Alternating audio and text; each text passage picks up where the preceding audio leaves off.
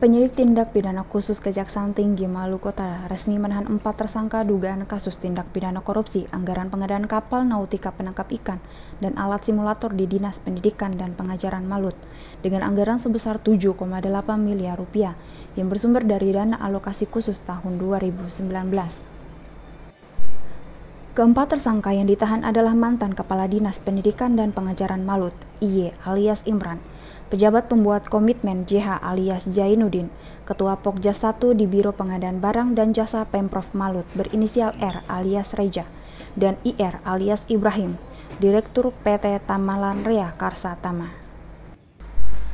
Status IR alias Ibrahim sebelumnya sempat dicabut lantaran menang di sidang pra peradilan berdasarkan putusan pengadilan negeri Ternate.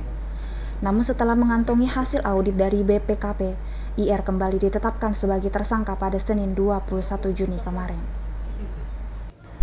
Sebelum ditahan, keempat tersangka lebih dulu diperiksa penyidik. Berdasarkan pantauan di kantor Kejati Kamis 24 Juni kemarin, Jainuddin selaku PPK datang ke kantor Kejati di Kelurahan Stadion, Kecamatan Ternate Tengah, pukul 9 lewat 52 menit waktu Indonesia Timur untuk menjalani pemeriksaan. Saat datang ke kantor Kejati, Jainuddin terlihat mengenakan kemeja warna putih dan celana jeans hitam. Sementara Ibrahim tampak mengenakan kemeja batik bermotif. Tiba di Kejati pukul 10 lewat 32 menit waktu Indonesia Timur ditemani kuasa hukumnya Arnold N. Musa. Sedangkan Imran tiba di pukul 10 lewat 33 menit waktu Indonesia Timur. Tidak berselang lama, sekitar pukul 11 waktu Indonesia Timur, tampak Reja juga tiba di kantor Kejati didampingi dua pengacara. Proses hukum dugaan tipikor anggaran pengadaan kapal nautika dan alat simulator berdasarkan surat perintah penyidikan Kepala Kejaksaan Tinggi Maluku Utara nomor PRIN 566 garing Q.2 garing FD.1 garing 10 garing 2020 tanggal 15 Oktober 2020.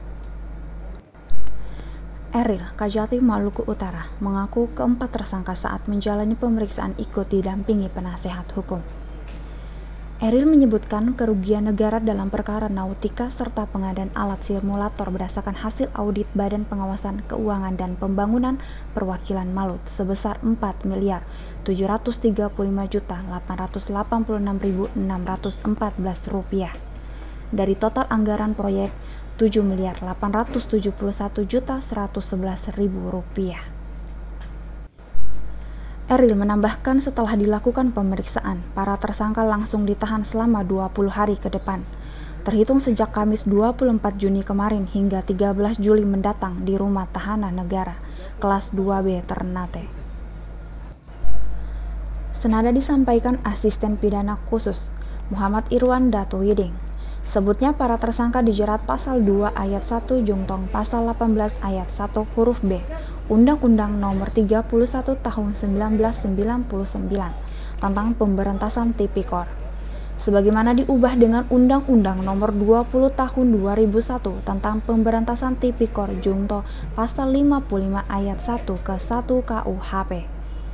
Subsidiar pasal 3 ayat 1 Jungtong pasal 18 ayat 1 huruf B Undang-Undang Nomor 20 Tahun 2021 tentang Pemberantasan Tipikor Jungto pasal 55 ayat 1 ke 1 KUHP. Sekadar informasi, penahan empat tersangka ini dilakukan penyidik pasca mengantongi hasil audit kerugian negara dari BPKP Perwakilan Malut. Proyek pengadaan kapal nautika di Dinas Pendidikan dan Pengajaran Malut diperuntukkan bagi SMK swasta di Kabupaten Halmahera Timur pada 2019 melalui dana alokasi khusus senilai 7,8 miliar rupiah. Proyek ini dikerjakan oleh PT Tamalan Rea Karsatama.